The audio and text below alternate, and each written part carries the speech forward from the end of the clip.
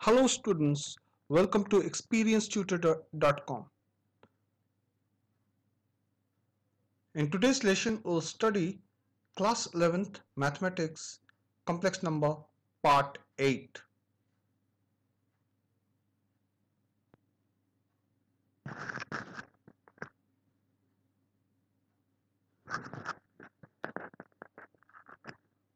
Let us start with the welcome message. Dear students, welcome to our channel experiencetutor.com.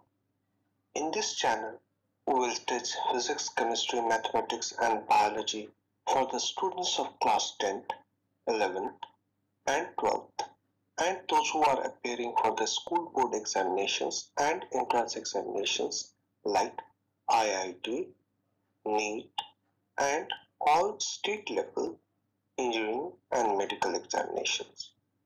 This course is organized according to different topics for each subjects.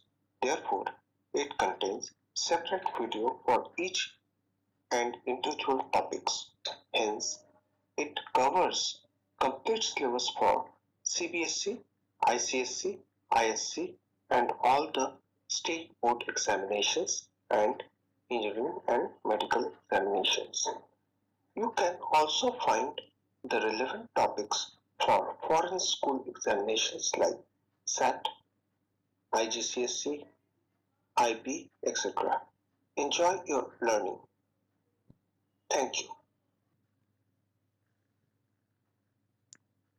Now study about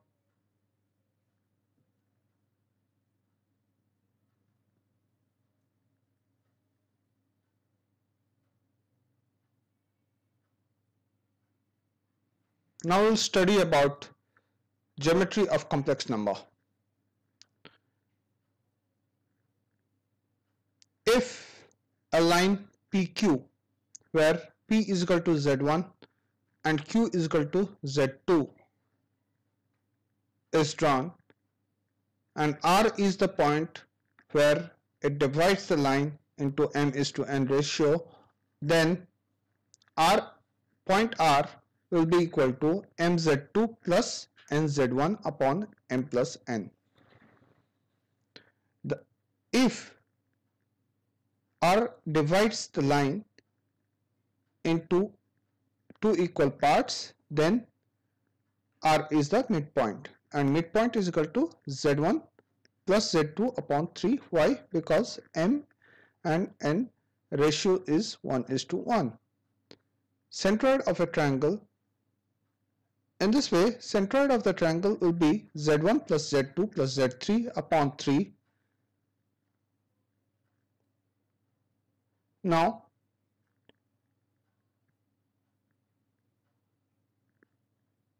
condition for a parallelogram. We know that parallelogram opposite sides are equal and parallel. Therefore, if a parallelogram is made up of PQRS with complex number Z1, Z2, Z3, Z4 then Z1 plus Z3 is equal to Z2 plus Z4 condition for a rhombus.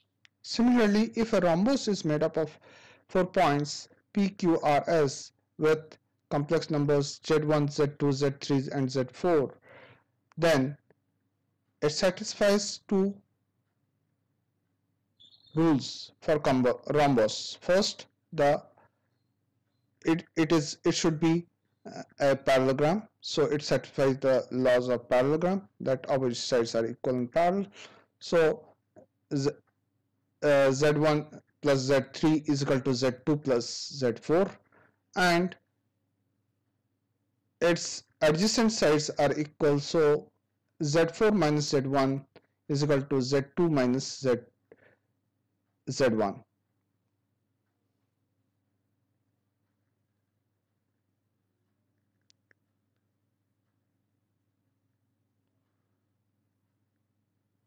square we know by nature square is a parallelogram therefore it satisfies the condition for parallelogram that is opposite sides are equal and parallel that is z1 plus z3 is equal to z2 plus z4 b for a square the adjacent sides are equal therefore z4 minus z1 is equal to z2 minus z1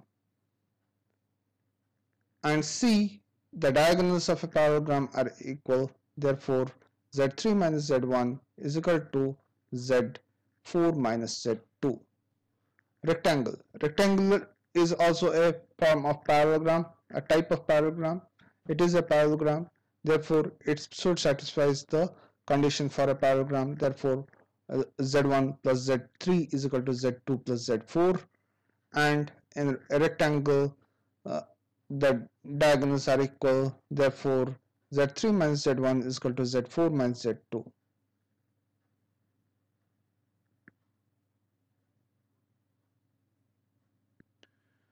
rotation of a complex number. If a line represented by a complex number z2 is rotated or if a complex number z1 is uh, OZ1 or uh, if a complex number z1 is rotated with angle theta up to z2 then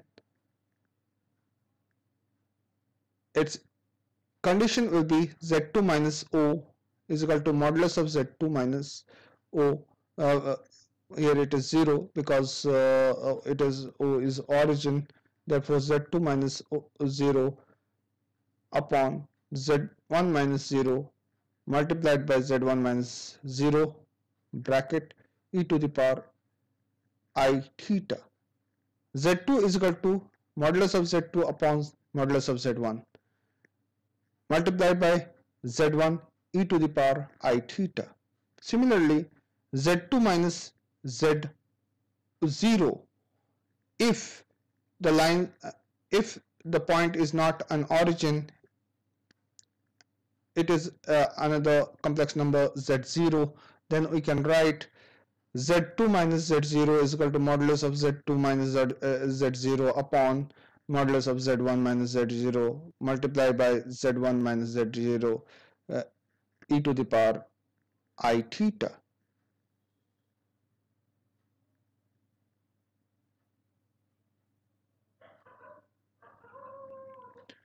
Clockwise rotation z1 is equal to modulus of z1 upon modulus of z2 multiplied by z2 e to the power i theta if the rotation is clockwise. Similarly, we can write when uh, it is not an origin, we can write z minus z0 is equal to z1 minus z0 upon z2 minus z0, z2 minus z0 e to the power i theta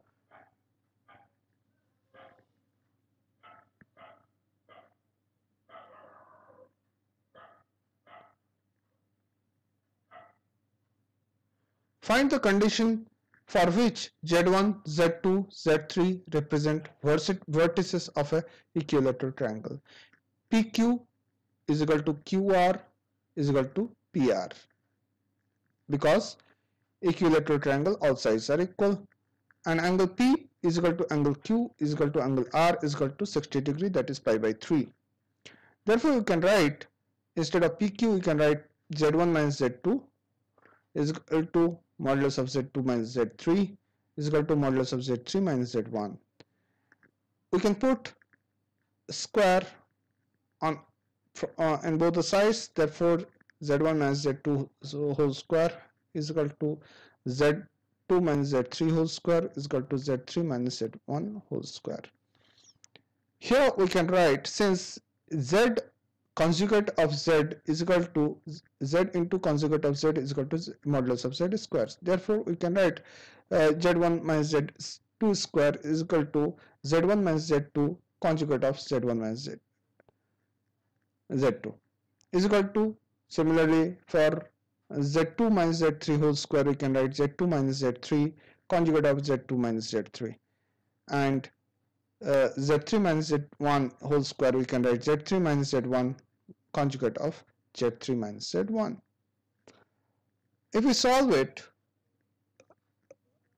then we can get z1 minus z2 conjugate of z1 minus conjugate of z2 is equal to conjugate of z2 minus uh, is equal to z2 minus z3 conjugate of z2 minus conjugate of z3 z3 minus z1 conjugate of z3 minus conjugate of z1 is equal to k say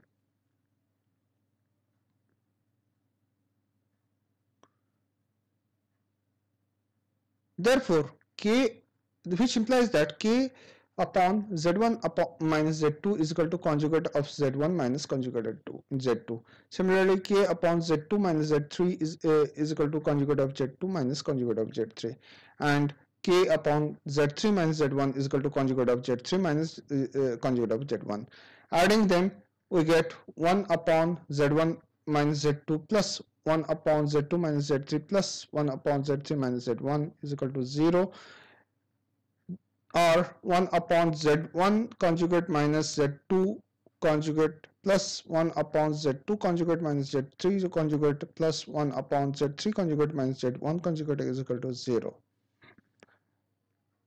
it, which implies that uh, sigma z2 minus z3 um, multiplied by z3 minus z1 is equal to 0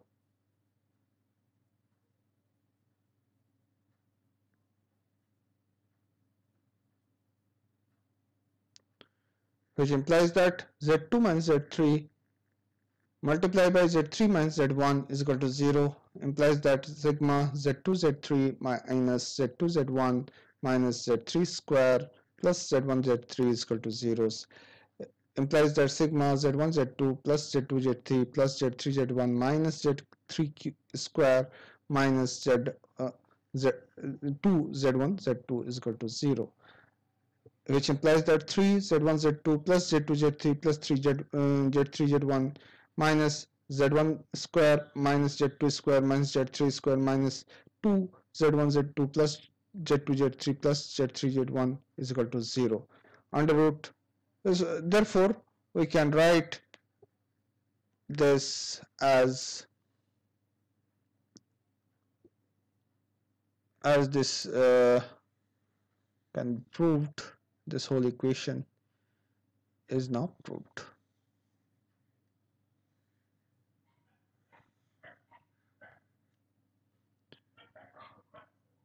Let us come to the next question.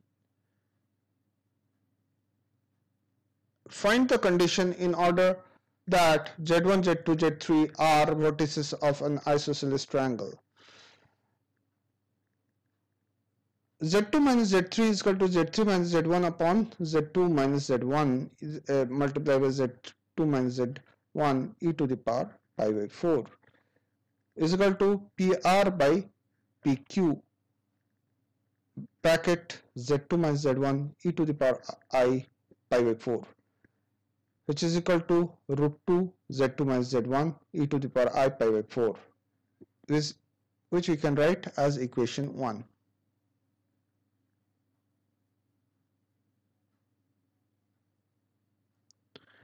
Also by rotating q z2 about r z3 in clockwise direction z1 minus z3 is equal to z1 minus z3 modulus upon z2 minus z3 modulus multiplied by z2 minus z3 e to the power i pi by 4 pr upon pqr bracket z2 minus z3 e to the power minus i pi by 4 is equal to root, under root 2 z2 minus z3 e to the power minus i pi by 4 this is equation 2 bracket z3 minus z1 z1 minus z2 is equal to 2 z2 minus z1 z2 minus z3 z1 minus z3 whole square is equal to 2 z1 minus z3 bracket z2 minus z3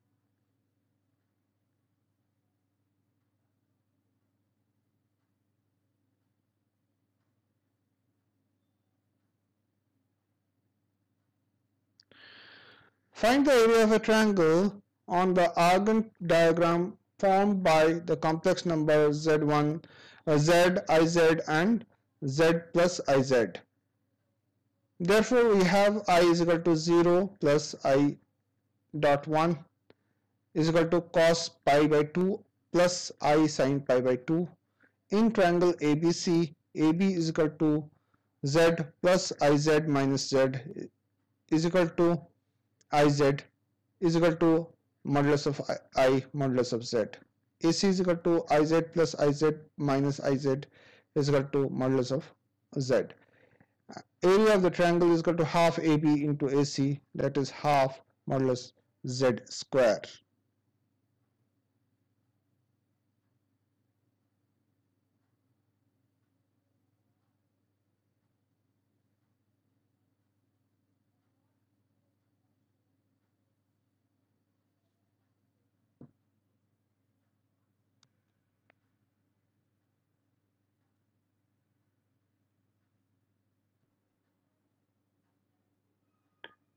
And this is the end of this topic. If you like this video, please subscribe our channel and give us a like sign. Please click on the bell icon so that you get automatic notification when a new video is uploaded by us. Thank you for watching our channel.